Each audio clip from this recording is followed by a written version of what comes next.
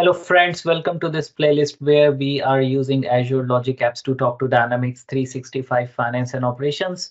In the previous videos, we have done the setup of Azure App Registration.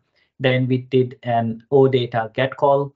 Then we did OData post call. And in this video, we are going to do an OData patch call.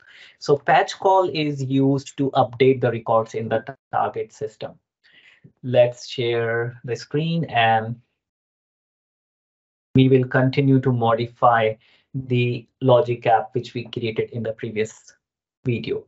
So in the previous video, we used HTTP post command and we created this customer group 9900 in finance and operation, which we can see here, 9900. Now in this video, we will modify a value of this particular record.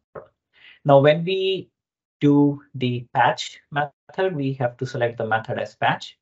And in the URI, we have to actually define the identifier for the record which we are going to update. So in order to do that, we basically have to define the value next to the entity like this. In this case, we want to update the customer group record where the customer group ID is 9900 and the data area ID is USMF. So these are basically the unique key identifiers which are used to find the record.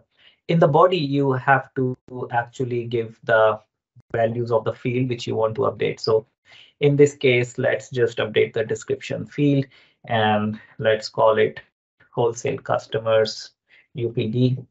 And let's try to save the logic app and run it.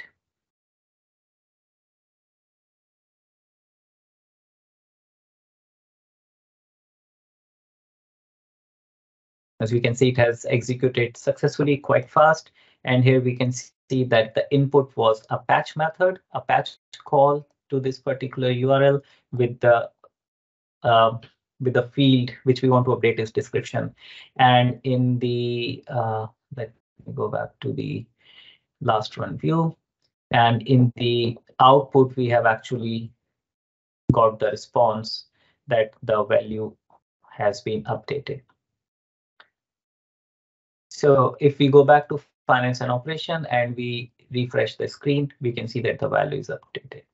So this is how we can use an OData patch call from Logic App to update values in Dynamics 365 finance and operation. Stay tuned and we will continue with more patterns in our next videos.